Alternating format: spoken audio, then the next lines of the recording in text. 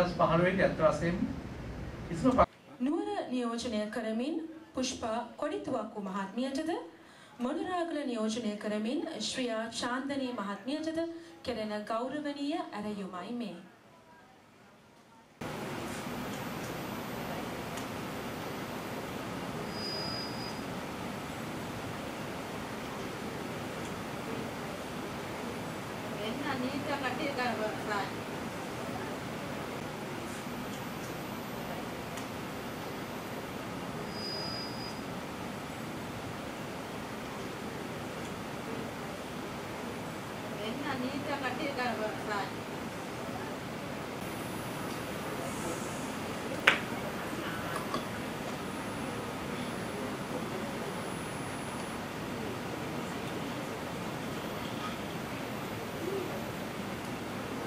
ඔබ සියලු දෙනාම දිස්ත්‍රික්කවල මම දන්න විදියට 2009 ඉඳලා අ, ඉමඩා ආයතනය විසින් දියත් කරන්නට යෙදුණු සහ සහයෝගය ලබා දෙන කාන්තා දේශපාලන පීඨයේ වැඩ කටයුතු වල නියැලුණු අය. ඒ වගේම දීර්ඝ කාලයක් පුරා කාන්තාවන්ගේ දේශපාලන සහභාගීත්වය වර්ධනය කිරීම සඳහා සියලුම කාන්තා සංවිධාන එක්ව ගෙන ගිය කටයුතු වලට සහභාගී වුණු අය. ඉමඩා සහ කාන්තා දේශපාලන පීඨයේ කටයුතු වලට විතරක් නෙමෙයි. ඔබ සියලු දෙනාම දන්නවා 2000 අවසාන භාගයේ ඉඳලා කාන්තා ක්‍රියාදාරයන් හැටියට කොළඹ පිහිටි සංවිධානත් ඒ වගේම අ, ප්‍රාදේශීයව පිහිටවන ලද සංවිධානත් අති මහත් උත්සාහයක් ගත්තා මේ රටේ නෛතිකව යම් කෝටා එකක් යම් සහභාගීත්වයකට එළඹිය හැකි අ, අයිතියක් ලබා ගැනීම සඳහා. හැමෝම දන්නවා 1930 ගණන් වල අපිට සාමජන ඡන්දය ලැබුණයින් පස්සේ මේ 2015 පෙබ්‍රවරි 10 වෙනකල් පාර්ලිමේන්තුව තුල 5යි කාන්තාව නියෝජනය වුණේ. ප්‍රාදේශීය සභාවල 101යි පළාත් සභාවල අ, අපේ නියෝජනය කාන්තා නියෝජනය 102යි මේ 51ක් හෝ 52ක් දක්වා කාන්තා ජනගහනය වර්ධනය වුණු දකුණු ආසියාවේ රටක් වගේම ලෝකයේම ප්‍රථම අගමැතිනිය බිහි කරපු රට. ඉතින් මේ ක්‍රියාදාමය විශේෂයෙන්ම දේශපාලන ක්ෂේත්‍රයට පමණක් නෙවෙයි සංවර්ධන කටයුතු වලදී විශාල අභියෝගයක් හැටියට ලංකාව ඉදිරියේ තිබුණා අප විසින් ජයගත යුතු වන.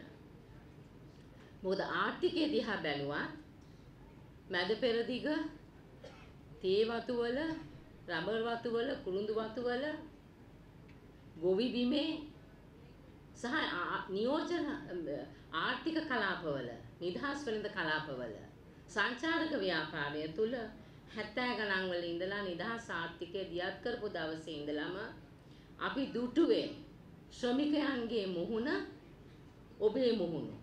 ඔබේ කියන්නේ කාන්තා මුහුණ. ඒ වගේම අපි යුද්ධය ගත්තා.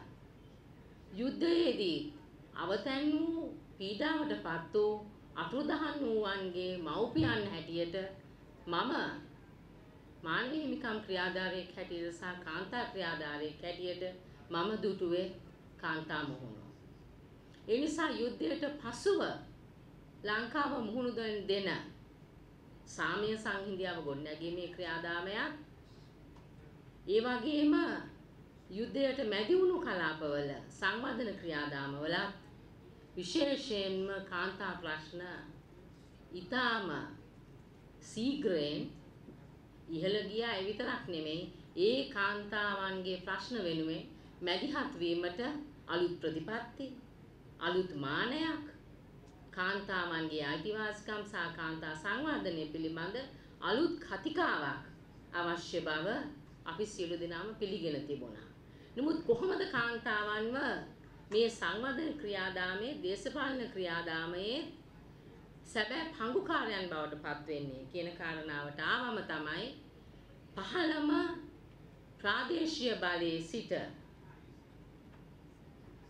ඉහළම ප්‍රතිපත්ති තීන්දුව ගන්න පාර්ලිමේන්තු තලය දක්වා කාන්තා නියෝජනය වර්ධනය කර ගැනීම නිකම්ම නොවන බවත් අපි දැනගෙන හිටියා. ඒ වගේම පුරුෂාධිපත්‍යික දේශපාලන බලව්‍යුහයන් තියෙන දේශපාලන පක්ෂ සහ දේශපාලන රාමු තුල ප්‍රචණ්ඩත්වයට යුද්ධයට මුහුණ දුන්නු සමාජයක කාන්තාවන්ගේ හිතේ තිබෙන තැතිගැන්ම ඒ ප්‍රචණ්ඩත්වය දේශපාලන ප්‍රචණ්ඩත්වය අපේ සහභාගීත්වය ඉදිරියට ගේමේ කටයුතු වලදී විශාල බලපෑමක් එල්ල කළ බව අපි සියලු දෙනාම හොඳටම තේරුම්ගෙන සිටියා.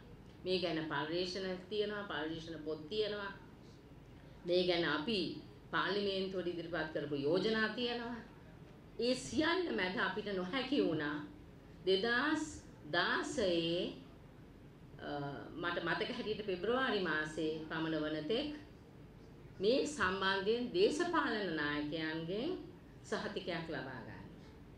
නමුත් අපි හැමෝම සන්තෝෂ වෙනවා 2015 ජනවාරි 8 වෙනිදා බලයටපත් වුණු අලුත් ආණ්ඩුව තුල ඒ දේශපාලන පක්ෂ නායකයන් සමග අප විසින් දීර්ඝ කාලයක් දියත් කරන්නට යෙදුණු සංවාදයක ප්‍රතිඵලයක් වශයෙන් සිවිල් සමාජයේ එක්තරා ජයග්‍රහණයක් දේශපාලනයේ පක්ෂවල නියැලෙන කාන්තාවන්ගේ ජයග්‍රහණයක් හැටියට අපිට මුලින්ම ප්‍රාදේශීය සභා සංශෝධන පනත තුල 25ක කෝටාවක් ලබා දෙන බවට වගන්තියක තිබුණා. නමුත් මේක වෙයිද නැද්ද කියන කාරණාව පිළිබඳව විශාල සංවාදයක් තිබුණා. ඒ වගේම ඒ වෙනුවෙන් අපිට විශාල වැඩ කොටසක් කරන්නට සිදු වුණා. මොකද දේශපාලන පක්ෂ හැමදාම කිව්වේ කාන්තාවන් හිටියට ඒ අයට එන්න හැකියාවක් නැහැ. එයාගේ දැනුම මදි. එයා අකමැති දේශපාලනයට එන්න. දැන් මෙවැනි සන්දර්භයක් තුල තමයි විශේෂයෙන්ම අපි ස්වේච්ඡාවෙන් ඉදිරිපත් වුණත් තනක් නොලැබෙන අවස්ථාවකදී තමයි නීතියෙන් ප්‍රතිපාදන ඕනේ කියන කාරණාව බොහෝ රටවල ස්ථාපිත වෙන්නේ. පක්ෂවලට යම් ආකාරයකින් නීතිමය බලපෑමක් ඇති කරනවා නාම යෝජනා සැකසීමේදී කාන්තාවන් තෝරා ගැනීමේදී විශේෂ ප්‍රතිපාදනයක් හැටියට 10%ක් හෝ 25%ක් ලබා දෙන ලෙස. දැන් මෙවැනි ඓතිහාසික ජයග්‍රහණයක් තමයි අපි ප්‍රජාතන්ත්‍රවාදය තීව්‍ර කිරීම සඳහා වන අර්ගලයේදී ඔබ ජයගත්තේ. ඒක හොඳට මතක තියාගන්න ඕනේ. මේ 25ක වන කාන්තා නියෝජනයේ ප්‍රාදේශීය සභාවල් වලට අපි ලබාගත් අරමුණ දේශපාලන අරමුණත් ඔබ තේරුම් ගත යුතුයි.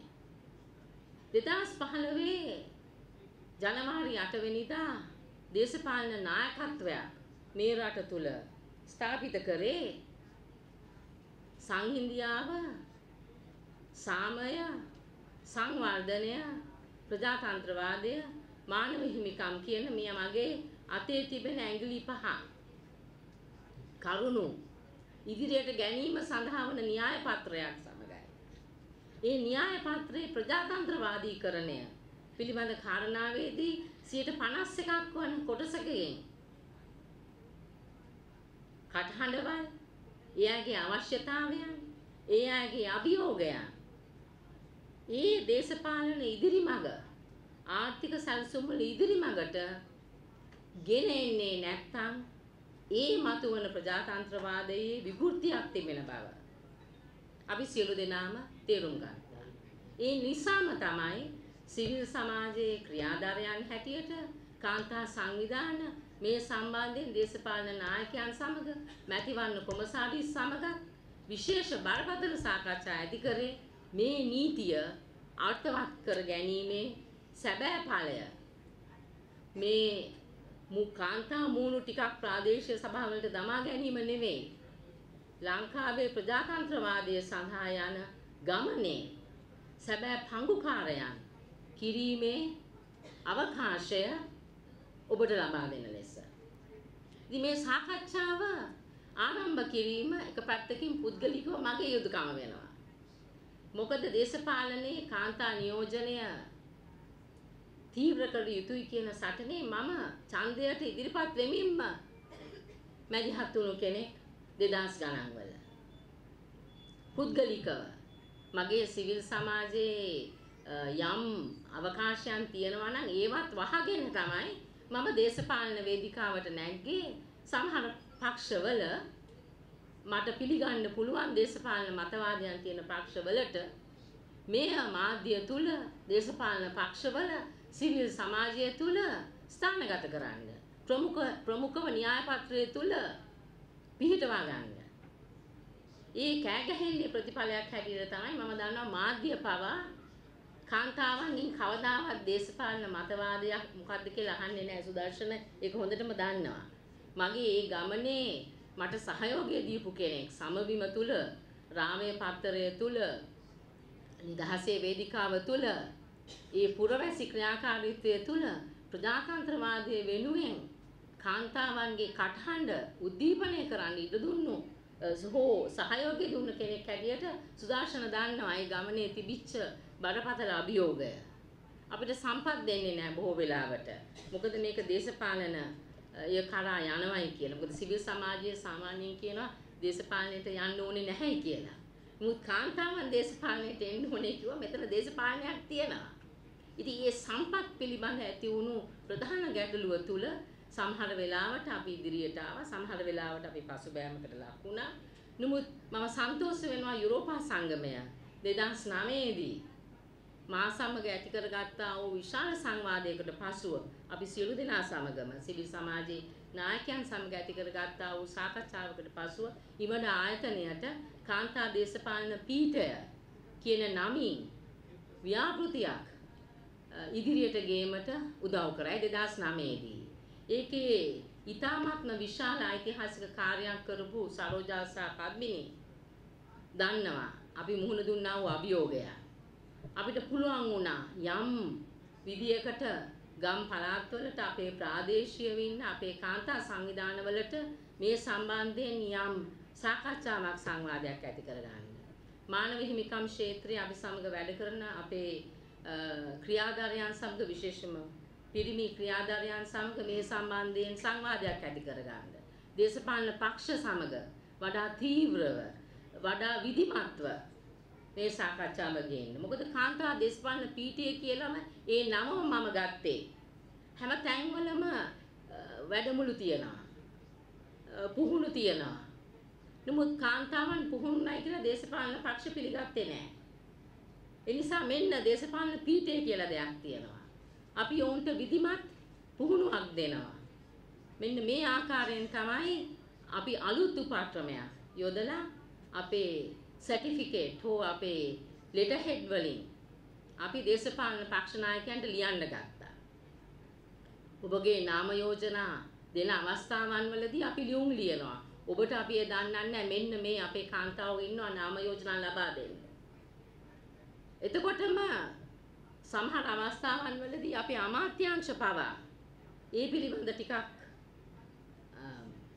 බහොයලා බලලා ඒ අයට යම් මේ අභියෝගයක් අපි ඒ හරහා ලබා දුන්න නිසාම ඔවුනුත් පක්ෂ ලේකම්වරු සමග එක් වෙලා කාන්තා දේශපාලන පීඨය හා සමානම පුහුණු වක්දියක් කරන්නට යෙදුණා මීට අවුරුදු 3-4කට ඉස්සෙල්ලා. ඒ වගේම ස්වාධීන කණ්ඩායම් ස්වාධීන කණ්ඩායම් පිළිදුණා. පක්ෂ වලින් හම්බුනේ නැත්තම් නාම යෝජනා මම දන්නවා කාන්තලේ අපේ සහෝදරියෝ ඉන්නවා එක්සත් නැගෙනහිර කාන්තා සංවිධානයේ ඔවුන් සහ මම ඇතුළු පිරිසකුත් අපි ස්වාධීන කණ්ඩායම් පවා ඉදිරිපත් කරා විශේෂම ප්‍රාදේශීය සභාවලට මේ සියලුම ඉතිහාසය හරහා ඇවිල්ලා 2015 දී අපි ජයගත්ත කාන්තාවන් පත් වුණා. දැන් මේ ක්‍රියාදාමයේ එක අධියරක මීට වසරකට විතර පෙරදී 2016 විතර මට හම්බ වෙනවා ජර්මන් තානාපති කාර්යාලයේ මානව හිමිකම් නිලධාරී නිල නිලය දාරන මහතා මයිකල් මං එයාගේ නම විශේෂයෙන්ම සඳහන් කරන්න ඕනේ. ඔහු සමග අපි මානව හිමිකම් ක්ෂේත්‍රයේ ජර්මන් තානාපති කාර්යාලයේ අපි විශාල මානව හිමිකම් සම්බන්ධයෙන් අභියෝගයන්ට අපි පුද්ගලිකවත් සංවිධානයක් හැටියටත් සිවිල් සමාජය මුහුණ දෙන අවස්ථාවන් වලදී විශේෂයෙන්ම ජිනීවා වල අපේ මානව හිමිකම් යෝජනා සාකච්ඡා වන හැම මොහොතේදීම අප සමග ඊ타මත්ම ශක්තිමත්ව කටයුතු කරපු රටක් ඔවුන්ගේ විදේශ ප්‍රතිපත්තියේ මානව හිමිකම් සහ ප්‍රජාතන්ත්‍රවාදය ඊ타මත්ම ඉහළින් තිබෙනවා න්‍යාය පත්‍රයේ මා සමග සාකච්ඡා කරලා කිව්වා මේ මානව හිමිකම් ක්ෂේත්‍රය තුල කාන්තා අයිතිය පිළිබඳ ප්‍රවර්ධන වැඩසටහනට ඔබ ඉදිරිපත් වෙන්න. මේ කාන්තා දේශපාලන පීඨයේ මේ වැඩ කටයුත්ත වෙනුවෙන් අපිට සුළු මුදලක් තියෙනවා. ඒ මුදල යුරෝ 25000ක් විතර මුදලක්. ඊ අපේ බාරයකුත් තියෙනවා, ඔවුන්ගේ බාරයකුත් තියෙනවා. ඒ මුදල ලබාගෙන මේ වැඩ කටයුත්ත ඉදිරියට ගෙනියන්න. නමුත් අපි දන්නවා ලංකාව පුරාම මේ මුදලින් කටයුතු කරන්න බෑ. නිසා අපි 250ක විතර පිරිසක් ඉලක්ක කරගෙන විශේෂයෙන්ම කාන්තා දේශපාලන පීඨයේ හැම වැඩමුළුවටම ආපු ඒ කියන්නේ 2009 ඉඳලා අපි සමග කටයුතු කරපු අය මෙතන ඉන්නවා. ඒ අය සමහර අය 2010 පළාත් ප්‍රාදේශීය සභාවලට පත් වුණු අය ඒ 2009 ව්‍යාපෘතියේ ප්‍රතිඵලයක් හැටියට ඒ අයත් සමග අලුත් නායිකාවන් තෝරාගෙන නාම යෝජනා නොලැබුණු අවුරුදු ගාණක් තිස්සේ පත්‍රවල වලින් අය වල යම් අභ්‍යන්තර අරගල නිසා කටයුතු කරපු අයවත් එකතු කරගෙන අපි 2017 මුලදී යම් වැඩ කටයුත්තක් කරනවා විශේෂයෙන්ම ඔබව දිරිමත් කරන්න මොකද 2016 නීතිය තුල කාන්තා නායකත්වය අපි පුහුණු කරන්න ඕන නිසා. නමුත් එන්න එන්න එන්නම පළාත් ප්‍රාදේශීය සභා ඡන්දය කල් ගියා. පුහුණුව ලැබිය යුත්තේ ඡන්දය ලං වෙනකොට නමුත් කොහොම හරි අපි දෙසැම්බර් වෙනකොට අපේ පුහුණු වැඩමුළු ටික අපිට තියන්න වුණා. අපි ජනවරි මාසයේ ඔබ සමග කටයුතු කෙරුවා. පෙබ්‍රුවරි මාසයේ ඔබ ඡන්දෙට ඉදිරිපත් වුණා.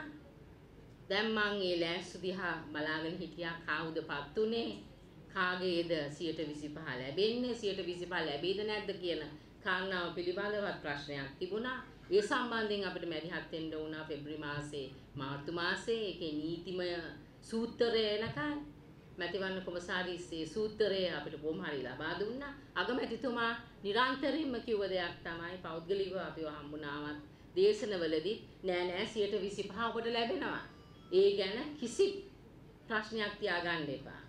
ජනාධිපතිතුමා තිරාන්තරයෙන්ම මම දන්නවා චන්ද්‍රිකා වගේ අයට කියන්න ඇත්තේ 125 ලැබෙනවා. නමුත් නිලධාරීන් සම්බන්ධයෙන් අපිට ප්‍රශ්නයක් තිබුණා ලැබෙනවද නැද්ද කියන එක.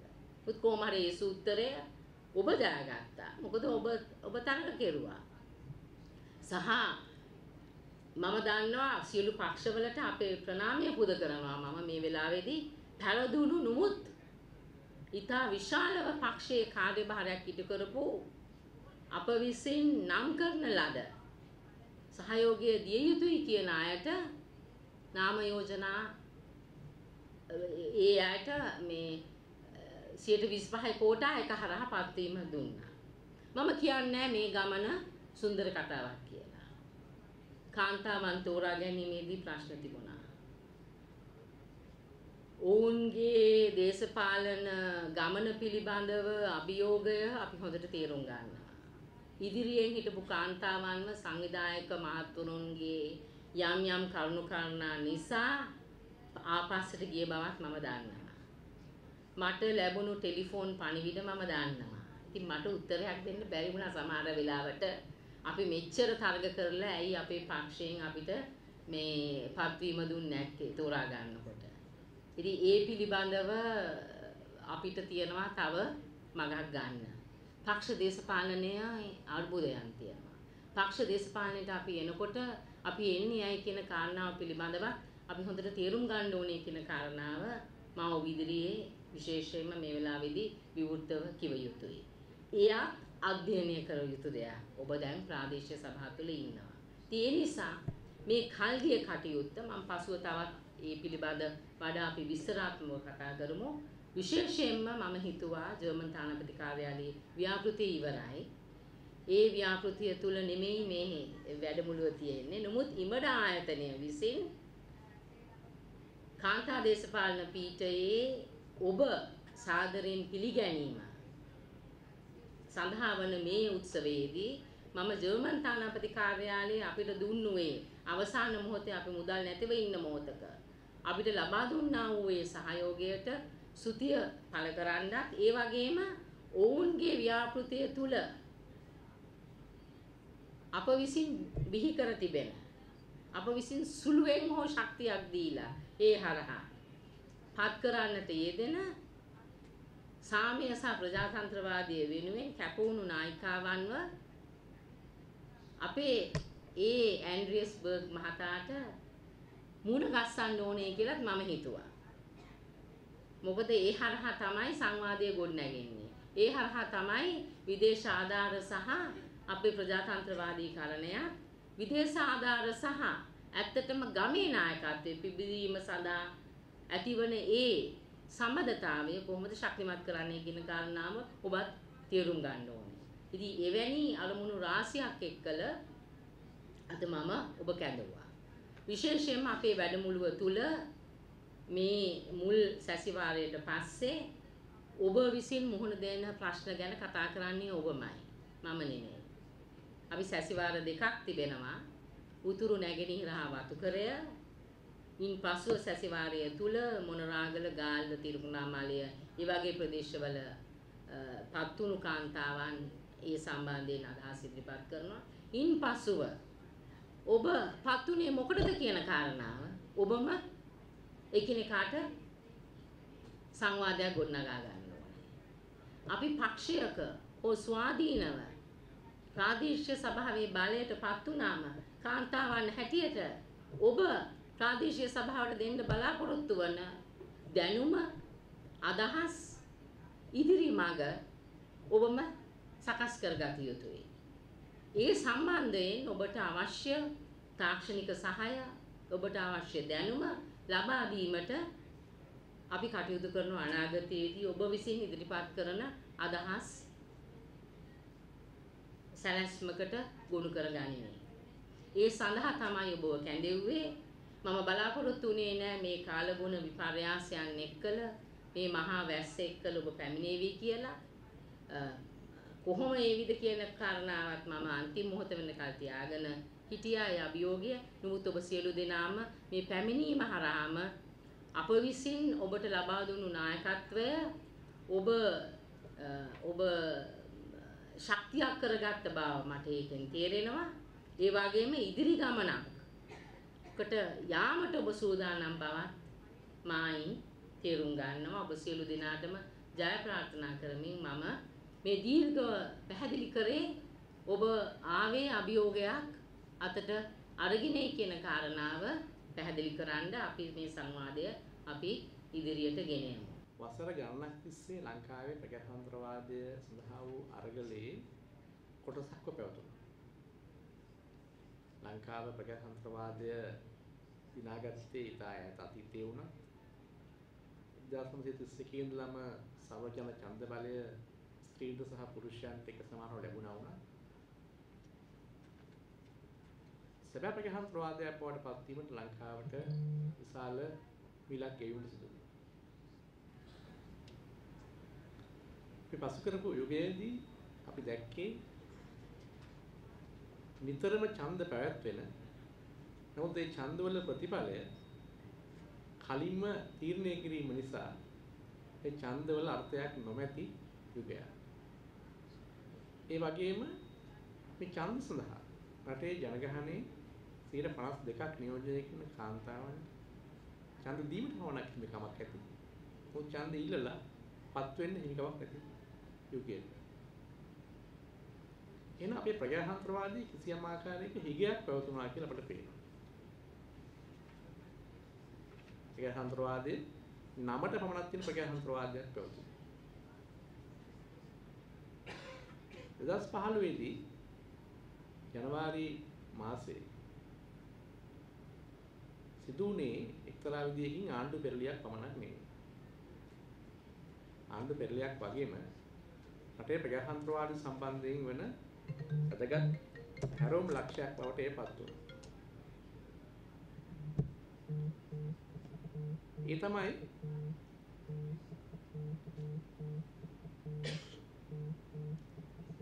රටේ සිවිල් සමාජයේ ප්‍රමුඛව දේශපාලන පක්ෂ වලට සම්බන්ධයක් නැති විශාල පිරිසක් එකතු වෙලා ප්‍රජාතන්ත්‍රවාදය ස්ථාපිත කිරීමේ පොදු න්‍යාය පත්‍රයේ යටතේ සියලුම දේශපාලන පක්ෂ එයට එකතු කරගන්නට හැකියවීම තමයි ඒ ජයග්‍රහණය. සාමාන්‍යයෙන් ඕනම වෙනසක් කිරීමේදී සියලුම දෙනා එකතු කරගන්න අමාරුයි. නමුත් 2015 දී ඇත්ත වශයෙන්ම කිසිම පක්ෂයක සීමාවක් නැතුව සෑම පක්ෂයකම පිරිස් මේ වටා එකතු වෙලා පොදු අපේක්ෂකයෙක් සහ පොදු වැඩපිළිවෙලක් ඔස්සේ ප්‍රජාතන්ත්‍රවාදී වෙනුවෙන් වැඩපිළිවෙලක් ඉදිරිපත් කරන්න සමත් ඒ පළවෙනි ජයග්‍රහණය. දෙවෙනි ජයග්‍රහණය තමයි ඒ වැඩපිළිවෙල ඡන්දකදී තාමත් සාමකාමී ආකාරයකින් බලහුමාරුවක් දක්වා ගෙන යාමට පුළුවන් වෙනවා. වෙනත් රටවල මෙවැනි බලහුමාරුවක් කිරීමේදී විශාල වශයෙන් ලේවැගිරීම් තත්වයක් ඇති වෙනවා. අපේ රටේ එක්තරා ප්‍රමාණයකින් අපේ දේශපාලන සංස්කෘතිය මුහුකුරා ගෙන තිබෙච්ච නිසා තමයි අපිට පුළුවන් වුණේ ලේවැගිරීමකින් තොරව සුහද ලෙස ඒ බලහුමාරුව සිදු කරගන්න. ඉන් පසුව ඒ බලහුමාරුව නිකන් දේශපාලන බලහුමාරුවකට එහා යන දෙයක් බවට පත් කිරීම සඳහා අවශ්‍ය වන ආණ්ඩුක්‍රම ව්‍යවස්ථානුකූල වෙනස්කම් රාශියක් ඉතා ඉක්මන් කිරීම සඳහා අවශ්‍ය පීඩනය රජය වෙත නිරන්තරයෙන් එල්ල වුණා. සිවිල් සමාජය ඒ වගේම නිදහස් වාතාවරණයක් යටතේ ක්‍රියා කරපු ජනමාධ්‍ය රජයට නිතරම පෙන්වා දුන්නා රජයේ බලයටපත් වූ න්‍යාය පත්‍රයේ ක්‍රියාත්මක කිරීම වැදගත්. ඒ අනුව ඊටාම කෙටි කාලයක් ඇතුළත මාස 4ක් වැනි කාලයක් ඇතුළත ආණ්ඩුක්‍රම ව්‍යවස්ථාවේ 19 වෙනි සංශෝධනය සම්මත කරගන්නට හැකි වුණා. මේ 19 වෙනි සංශෝධනය සම්මත කරගත්තේ එවකට තිබුණු පාර්ලිමේන්තුව තුළින්ම බව අපි අමතක නොකළ යුතුයි. ඒ පාර්ලිමේන්තුව තුළ අතිවිශාල බහුතර බලයක් තිබුණේ ඒ ඡන්දයෙන් පරාජයටපත් වූ පක්ෂයට. නමුත් ඒ පක්ෂයේ മന്ത്രിවරුන්ගේ ඉක්මගතාවේ ඇතුව තුනෙන් දෙකක බහුතරයෙන් ආන්ග්‍රම ව්‍යවස්ථාවේ වැදගත් සංශෝධන කිරීමට පුළුවන්කමක් ලැබුණා. ඒ නිසා මෙම වෙනස්කම කිසිම පිරිසක් ඉවත් කරලා කරපු වෙනස්කමක් නෙමෙයි හැමදිනාගේම එකතු වෙලා කරපු වෙනස්කමක් බවත් මම අවධාරණය කරන්න කැමතියි. විශේෂයෙන්ම රටේ සීලුම ජනවර්ගයන් මේ වෙනසට සම්බන්ධ වෙනවා. සිංහල දෙමළ මුස්ලිම් කඳුරට දෙමළ ඇතුළු සියලු කොටස් මේකට සම්බන්ධයි. ඒ වගේම රටේ දේශපාලන ක්‍රමය වෙනස් කරලා කැරලි මගින් රාජ්‍ය බලය ලබා ගැනීමට උත්සාහ කරපු දේශපාලන ව්‍යාපාරය කැරලි දෙකක් ගහපු දේශපාලන ව්‍යාපාරය ප්‍රජාතන්ත්‍රවාදී ප්‍රවාහය තුළ මේ වෙනස්කම් ඇති කිරීමට ප්‍රබල ලෙස දායක වුණා. උතුරේ බෙදුම්වාදී ව්‍යාපාරයක් ගෙන ගිය වැඩපිළිවෙලක් අවුරුදු දෙකකට පස්සේ පරාජය වුණාට පස්සේ ඒ ජනතාවගේ නියෝගිතයන් මේ වෙනස්කම සඳහා දායක වුණා. ඒ අනුව මේ මුළු ලංකාවම එකතු වෙලා කරපු වෙනස්කම. මේ වෙනස්කමේ සිදුුනේ මොකක්ද? මේ වෙනස්කම තාමත් බොහෝ දෙනෙක් අවබෝධ කරගෙන නැති බව තමයි අපිට පේන්නේ. බොහෝ දෙනෙක් අහනවා මොනවද වෙච්ච වෙනස කියලා. ඇත්ත වශයෙන්ම ඊටමත් සාමකාමී ලෙස විධායක ජනාධිපති දුරයට ලබා දී තිබුණු අතිවිශාල බලතල ප්‍රමාණය සහ 18 වන සංශෝධනය මගින් එයට එකතු කර තිබුණු අත්නොමතික බලතල ප්‍රමාණය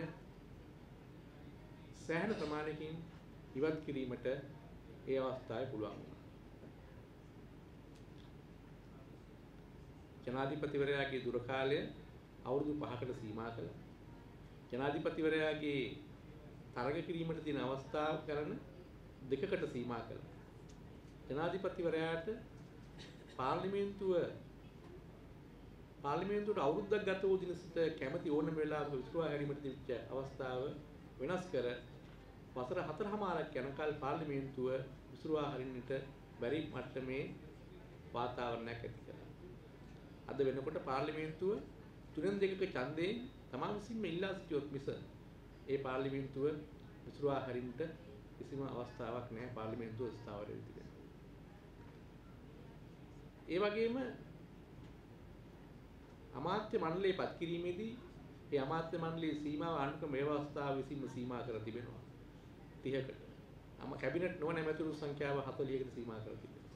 මේ වෙනස් කළ හැකි වැඩිම ඡන්ද ලබාගත් පක්ෂ දෙක වැඩිම ආසන ලබාගත් පක්ෂ දෙක හිඟතාවයකට පැමිණිලා පාර්ලිමේන්තුවට ඒ බව දැනුම් දීලා යෝජනාව සම්මත කරොත් පමණයි.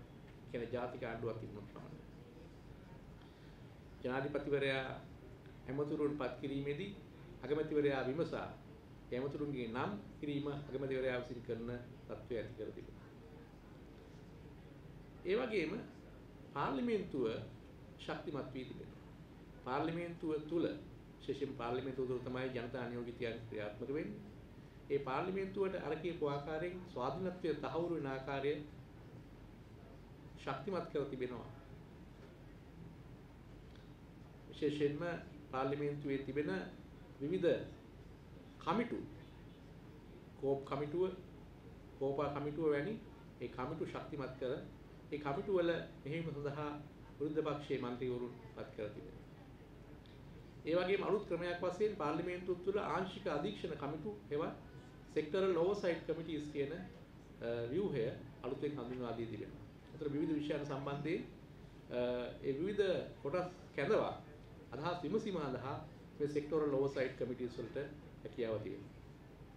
ඒකම පාර්ලිමේන්තුව තුළ ක්‍රියාත්මක වෙන පාර්ලිමේන්තුව විසින් පත් කරනු ලබන ආණ්ඩුක්‍රම ව්‍යවස්ථා මණ්ඩලය එවත් කන්ස්ටිටියුෂනල් කවුන්සිල් නැමැති බලවත් ආයතනයක් බිහි කර තිබෙනවා.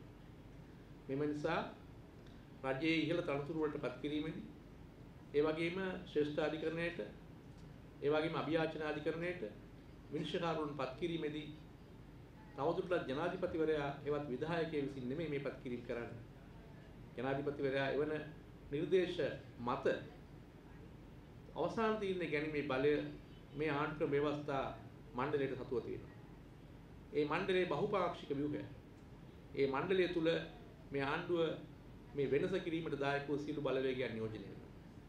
එහි කතානායකතුමා, අගමැතිතුමා, විපක්ෂ නායකතුමා, කතානායක අගමැතිතුමාගේ නියෝගිතේ, විපක්ෂ නායකතුමාගේ නියෝගිතේ වශයෙන් පාර්ලිමේන්තු මන්ත්‍රීවරු දෙදෙනෙක්, ඒකම ජනාධිපතිතුමාගේ නියෝගිතයා වශයෙන් පාර්ලිමේන්තු මන්ත්‍රීවරයෙක් වශයෙන් සුළු පක්ෂ නියෝජනය කරන මන්ත්‍රීවරයෙක් වශයෙන් ඊට අමතරව සිවිල් සමාජ නියෝජනය කරමින් තිදෙනෙකුත් පත්ව තියෙනවා. මේ බහුපාක්ෂික ව්‍යුහය විසින් තමයි සුදුසුකම් මත මේ පත් කිරීම සම්බන්ධයෙන් තීරණ ගන්න ලබන්නේ. තවදුරටත් නීතිපතිවරයා පත් කරන්නේ පොලිස්පතිවරයා පත් කරන්නේ ඉහළ අධිකරණ විනිශ්චයකරුන් පත් කරන්නේ මේ ව්‍යුහය විසින්. ඒ වගේම එසේ පත් කරන ලද ඒ ඉහළ තනතුරු වල පත් වෙන අයට ඔවුන්ගේ විශ්‍රාම යන කාලයේ වසර 60න් පස්සේ කිසිම ආකාරයෙන් දීර්ඝ කරන්න බැරි තත්ත්වයක් ඇති කරලා තියෙනවා. ඒ අනුව එවැනි සේවා දිගුවක් ලබා දෙනවායි කියලා ඔවුන් නමවා ගැනීමට කිසිම දේශපාලකයෙකුට හැකියාවක් නැති වෙන තත්ත්වයක් ඇති කරලා තියෙනවා. ඒකම රටේ ස්වාධීන කොමිෂන් සභා බල ගන්නවා තිබෙනවා. ඒ ස්වාධීන කොමිෂන් සභා කලින් තිබුණු කොමිෂන් සභා නැවත බල ගන්නව පමණක් නෙමෙයි අලුත් කොමිෂන් සභා ඇති කර තිබෙනවා. යනුව රාජ්‍ය සේවා කොමිසම, අධිකරණ කොමිසම, අධිකරණ සේවා කොමිසම, ශ්‍රී ලංකා මානවිකම් කොමිසම, පොලිස් කොමිසම, මැතිවරණ කොමිසම ඇතුළු කොමිෂන් සභා ගණනාවක් ඇති කර තිබෙනවා.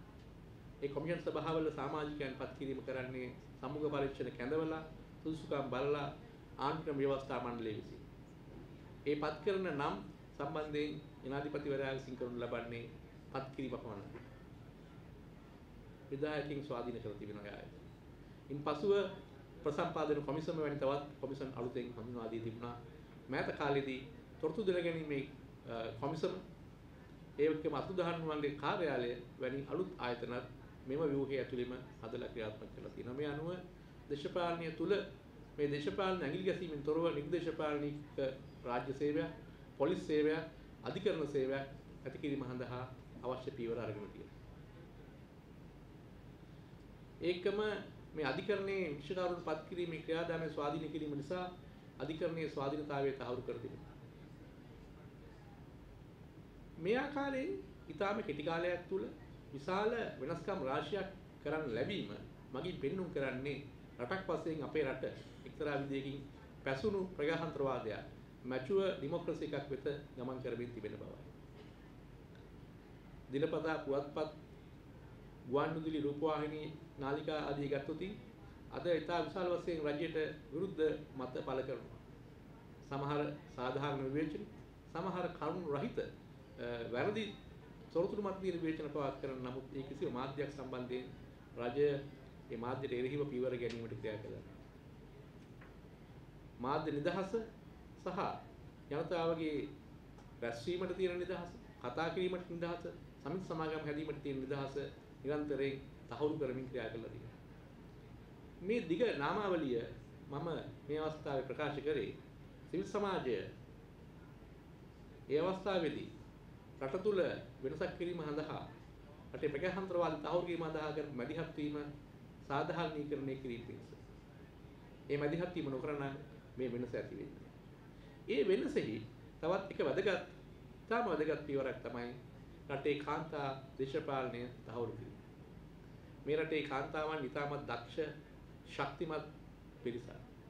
විශේෂයෙන්ම 30 අවුරුදු යුද්ධයක් ඒ වගේම දකුණේ කැරළ දෙකක් තිබිච්ච අවස්ථාවලදී බොහෝ විට මේ කැරලිවර යුද්ධවල බරදරුවේ කාන්තාවන් විසින්. තමන්ගේ ස්වයං පුරුෂයන්, තමන්ගේ පුතුණුවන්, තමන්ගේ පියවරු යුද්ධය විසින් පිළිගත් අවස්ථාවේදී ඒ යුද්ධයට ඒ විපාක වලට මුහුණ දීලා ඒ පවුල් රැකගෙන සමාජීය කාර්යභාරනුත් කරගෙන ඉස්සරහට ගියේ මේ කාන්තාව. මේක උතුරේ සිදු වුණා දකුණේ සිදු වුණා.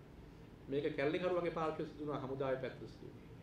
මේ විශාල කාන්තා පිරිසක් ඉන්නවා තනියෙන් පවුල් නඩත්තු කරගෙන සමාජයට දායක වෙලා ක්‍රියා කරන විදිය. රටේ පරිපාලනයේ විශාල වශයෙන් ඉන්න කාන්තා. නමුත් දේශපාලනයේ මේ කාන්තාවන්ගේ සහභාගීත්වය ලොකු හිගයක් තිබුණා. මේ හිගය මගහැරීම සඳහා ඇත්ත වශයෙන්ම ලංකාවේ ආණ්ඩුව පියවර ගත්තා. ඒ පියවර අනුව පෙබරවාරි 10 වෙනිදා මේ පැවතිච්ච local government elections නැත්නම් මේ පළාත් පාලන ඡන්දෙදී 102ක්ව පැවතුණු පළාත් පාලන ඡන්දය ඡන්දේ පළාත් පාලන ආයතන වල කාන්තා නියෝජනය 125කට කිට්ටු වෙන මට්ටමට ගේන්න පුළුවන් වුණා. මෙය ඉතා ලේසියෙන් කරපු දෙයක් නෙමෙයි. 2016 දී මේ සංශෝධනය සම්මත කරගත්තා වුණත් මේ ඡන්දේ පැවැත්වීම කල් ගියා. ඡන්දේ පැවැත්වීම කල් ගියාට පස්සේ ඒ ඡන්දය පවත්වන අවස්ථාවේ සැකයක් ඇති වුණා. ඇත්ත වශයෙන්ම මේ කාන්තා නියෝජනය සාතික කරන්න පුළුවන්ද මේ වගේ කියලා. 17000ක් කාන්තා නියෝජිතයන් මේ ඡන්දය වෙනුවෙන් ඉල්ලා පෙනී හිටියා. මේ 17000 ගත්තම මුළු 56000ක් ඡන්ද ඉල්ලලා තිනවා 8000ක් අනුතුරු වලට. ඒ 56000න් 17000ක් කාන්තාවන්. එතකොට මේ 2011 ඉලෙක්ෂන් එකේදී කාන්තාවන් 82 දෙනෙක් පත් වෙලා තියෙන මුළු ලංකාවේ. නමුත් 2018 මේ පළාත් පාලන ඡන්දෙදී පෙබරවාරි 10 වෙනිදා ඡන්දෙදී 2000කට වැඩි කාන්තාවන් පිරිසක් නියෝජිතයන් වශයෙන් පත්ව තියෙනවා. ලංකාවේ අගනුවර වන කොළඹ නගරයේ නගරාධිපතිනිය වශයෙන් කාන්තාවක් පත්ව තිබෙනවා. රෝස සේනානායක මහත්මිය එහි නගරාධිපති ධුරයට පත් වුණා. ඒ වගේම මෙසේ කිරීමට මේ හැකියාව ලැබුණේ ඇත්ත වශයෙන්ම මේ කාන්තා නියෝජනයේ ශක්තිමත් කිරීම සඳහා නීතියේ පියවර ගත්ත නිසා. ඕනම අවස්ථාවක අලුත් දෙයක් කිරීමේදී යම්කිසි මූලික ආරම්භක ශක්තියක් දෙන්න අවශ්‍යයි. ඒ නිසා තමයි මේ தත්ත්වය ඇති කරේ. ඉතින් බොහෝ දෙනෙක් සැක පහල කරා වුණත් මේ නියෝජනය තුල අද ලොකු වෙනසක් ඇතිව තිබෙන බව අපට කියන්න අවශ්‍යයි. විශේෂයෙන්ම 125කට ආසන්න නියෝජනයක් සෑම දිස්ත්‍රික්කයකම ලැබී තිබෙනවා. දැන් තියෙන අභියෝගය වන්නේ මෙතනින් එහාට කොහොමද මේක අරගෙන යන්නේ කියලා. මෙය එක්තරා විදියකින් මේ ප්‍රජාතන්ත්‍රවාදී ජයග්‍රහණයන්ගේ තව එක ජයග්‍රහණයක්. නමුත් මේ ජයග්‍රහණය ආපසු හැරවීම සඳහා වැඩ කරන බලවේග මේ රටේ තිබෙනවා. ඒ කිසියම් පක්ෂයක් ඉලක්ක කරගත්ත දෙයක් නෙමෙයි. බලවේගයක් වශයෙන් මේ රටේ කාන්තාවන්ට සම අවස්ථා ලබා දීමට විරුද්ධ රටේ සුළුතර ජන කොටස් වලට සම අවස්ථා ලබා දීමට විරුද්ධ මේ රටේ වරප්‍රසාදලත් පිරිසක් අතේ පමණක් පාලන බලය තිබිය යුතුයි කියන මතවාදයක් මේ රටේ තිබෙනවා. ඒ මතවාදය පරාජය කිරීම අවශ්‍ය වෙනවා. මේ මතවාදය පරාජය කිරීමට නම් අත් වශයෙන්ම ඔබ සියලු දෙනාම ඔබගේ දේශපාලන මතයේ කුමක් වුණත් මේ සමානත්වය වෙනුවෙන් යුක්තිය වෙනුවෙන් සාධාරණත්වය වෙනුවෙන් කතා කිරීම අවශ්‍ය වෙනවා. මේ සමානත්වය යුක්තිය සාධාරණත්වය ඇති කිරීම සඳහා වන ගොඩනගාගත් ආණ්ඩුක්‍රම ව්‍යවස්ථා ප්‍රතිපාදන සංශෝධනය තවදුරටත් ශක්තිමත් කර ගැනීමට යථාර්ථයක් කර ගැනීමට ඔබගේ දායකත්වය අවශ්‍ය වෙනවා. විශේෂයෙන්ම අවසන් වශයෙන් කිව්වොත් දෙයක් තමයි මේ රටේ ප්‍රධාන පෙළේ ආයතන වලට කාන්තාවන් පත්වීම වැඩි වී තිබෙනවා. ශ්‍රී ලංකා මානවික කොමිෂන් සභාවේ සභාපතිනි වශයෙන් කාන්තාවක් පත් වුණා. ඒ වගේම අනිත් කොමිෂන් සභාවල කාන්තා සමාජිකයන් පත්ව තිබෙනවා. ශ්‍රී ලංකා වාණිජ්‍ය මණ්ඩලයේ සභාපති ප්‍රධාන විධායක නිලධාරී තනතුරට පළමු වතාවට කාන්තාවක් පත් කරනු ලැබුවා එම සංගමයේ විසින්. ධාරා විජේතිලක මහත්මිය එහි විධායක ප්‍රධාන විධායක නිලධාරණිය වශයෙන් පත් කරනු ලැබුවා. මෑතකදී මගේ අමාත්‍යාංශයේ මට මා සම්බන්ධ අමාත්‍යාංශය වන මුදල් හා ජනමාධ්‍ය අමාත්‍යාංශයේ අමාත්‍ය දුරේට ගරු මංගල සමරින මැතිතුමා පත් වූ අවස්ථාවේදී ඔහු මේ සම්බන්ධයෙන් වෙනස්කම් රාශියක් කිරීමට ආරම්භ කර තිබෙනවා.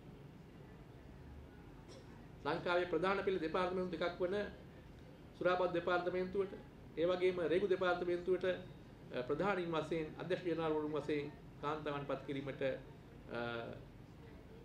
මංගල සමරවීර මහතා ක්‍රියා කළා. ඒ වගේම ඉතා මෑතකදී ශ්‍රී ලංකා රූපවාහිනී සංස්ථාවට සභාපතිවරයා වශයෙන් ඉනෝකා සත්‍යාංගනී මහත්මියත් ස්වාධීන රූපවාහිනී සේවයේ සභාපතිනිය වශයෙන් තිලක ජයසුන්දර මහත්මියත් ඒකම සැලසිනී ආත්ම සභාපතිනිය වශයෙන් උමා රාජමන්ත්‍රී මහත්මියත් පත් කරමින් මේ සම්ප්‍රදාය ඉස්සරහට ළඟින් තියෙනවා. ඒ නිසා එක්තරා විදියකින් කාන්තාවන්ට බොහෝ කලකට පෙර ලැබිය යුතු තිබුණු තැන ලබා දීම සඳහා වන වැඩපිළිවෙල ක්‍රියාත්මක පවතිනවා. මෙය ඉදිරියට ගෙන යාම සඳහා වන ඉතා වැදගත් අවශ්‍යතාවයක් වන්නේ කාන්තාවන්ගේ ශක්්‍යතා වර්ධනය කිරීම සඳහා වන වැඩසටහන. කාන්තාවගේ ප්‍රතිරූපය සමාජය තුළ නංවා කිරීම සඳහා වන වැඩසටහන. කාන්තාවන් කෙරෙහි තිබෙන ඒකාකාරී ප්‍රතිරූපය වෙනස් කිරීම සඳහා වන වැඩසටහන. මේ සඳහා මෙම කාන්තා අධ්‍යාපන පීඨය විසින් ගෙන යන වැඩසටහන් තවදුරටත් ශක්තිමත් කරගෙන මේ වැඩසටහන් හරහා තවත් මේ කාන්තා නායිකාවන් පුහුණු කිරීමට අවස්ථාව ලැබෙන්න ලැබේවායි මා ප්‍රාර්ථනා කරනවා. ඒ වගේම විශේෂයෙන්ම ජනමාධ්‍ය මගේ විෂය ජනමාධ්‍ය වේදය තුල ජනමාධ්‍ය තුල කාන්තා නියෝජනය වැඩි කිරීමටත් ඒ වගේම කාන්තා ප්‍රතිරූපය පිළිබඳව නව මානයකින් සාකච්ඡා කිරීමටත් අවශ්‍ය සාකච්ඡාව අපේ දෙපාර්තමේන්තුව තුල ඒ වගේම අමාත්‍යාංශය තුල ඇති කිරීමටත් අපි ක්‍රියා කරන බවත් මේ අවස්ථාවේදී ප්‍රකාශ කරනවා.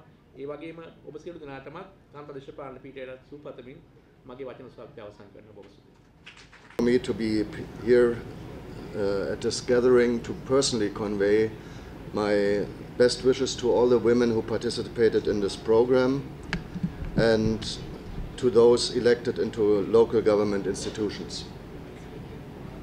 It's a great achievement for which I would also like to congratulate the Asia Committee of IMADA and express my happiness about the German Foreign Service having been able to fund this project. Germany strongly supports and promotes women's po- political representation, not just as a part of its development assistance, but also at home, for which the be- best example is, of course, the fact that um, Chancellor Merkel has uh, governed the country now for over 10 years. But um, as you mentioned rightly, the first pri- female prime minister was actually in Sri Lanka. There are also uh, quite a range of, of um, other women participation in politics in Germany, like being party leader and minister, even in male dominated fields like the defense ministry. However, this has been a long and not always easy, easy, easy journey also for Germany. And there is still, there is still room for improvement. For instance, this month, the German Swedish Albright Foundation compared the share of women in the executive management level in six Western industrial nations. And it found that Germany, on the, on the basis of large listed companies, have the least amount of women in, in executive management out of the six countries. This is a concrete example of an area in which even Germany must, must uh, do more.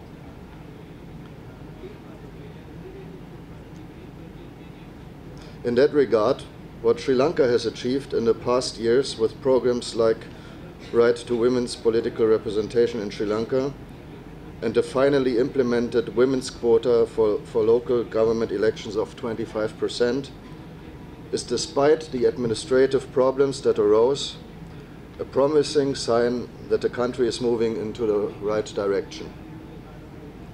I can only hope that the overdue provincial elections will also take place this year and that in those elections as well a women's quota will be adopted.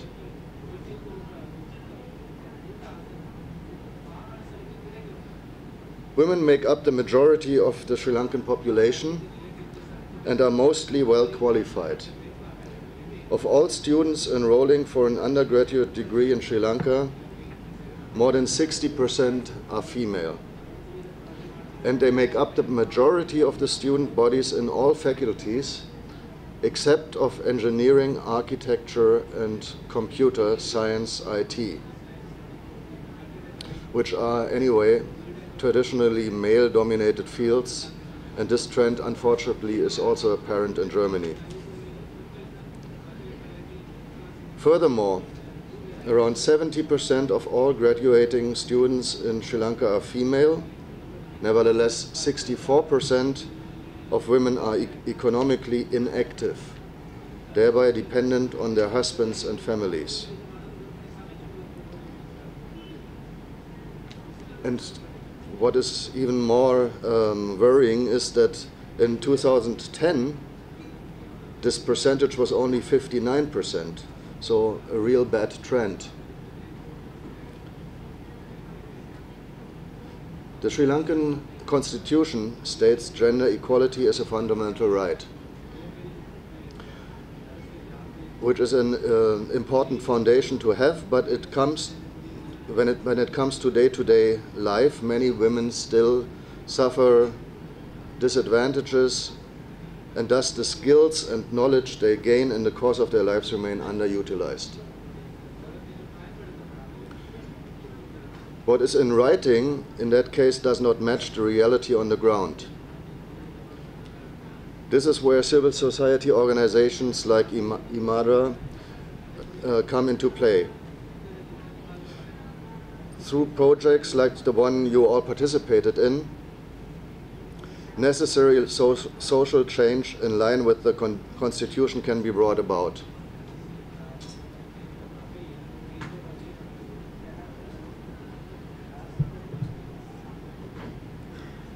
This change I'm talking about can best be achieved through women's participation in politics because it gives women the, the public platform to make their voices heard.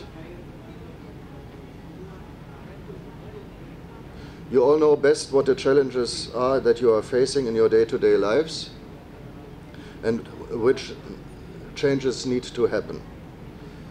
Now you are in a position to find and implement solutions that best fit your interest. My humble advice is make use of this opportunity and work towards making the change you want to see in this country. It's my strong impression that the current government of Sri Lanka is more than willing to uh, be a supportive partner in, in this regard.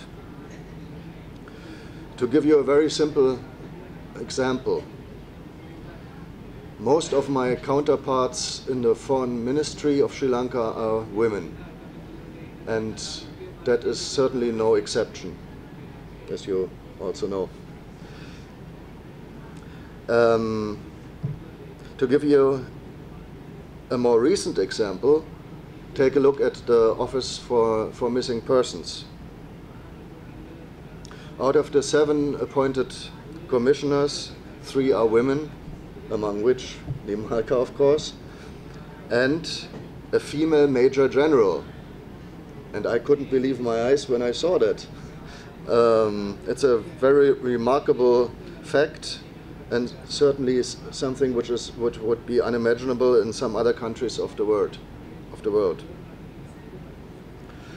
The commissioners were selected in an open and competitive process conducted by the Constitutional Council, and the fact that close to 50% of the available positions were, um, were given to women sends out a very positive and strong sign about the cap capability and competence of the women in this country who rightly demand more gender equality.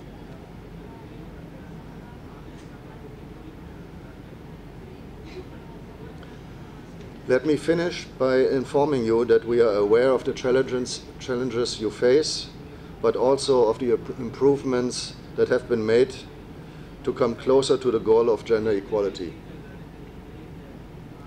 It might be uh, a, a, uh, still a long journey, but I want to ensure you that Germany is prepared to continue to support the government and the civil society of Sri Lanka in promoting human rights including women's rights in Sri Lanka.